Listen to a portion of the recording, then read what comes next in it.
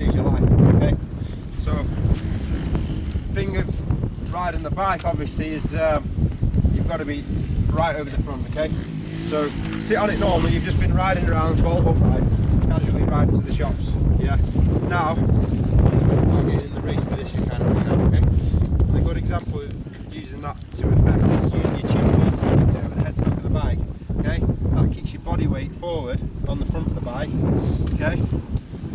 Um, just leaning the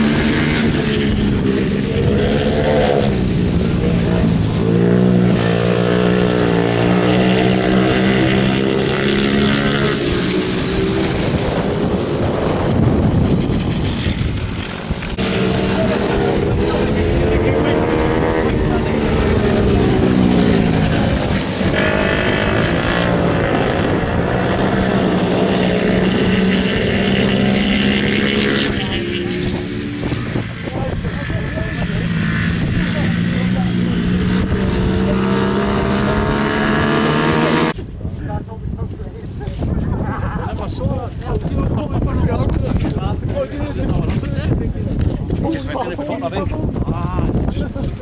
heb het vast via. jij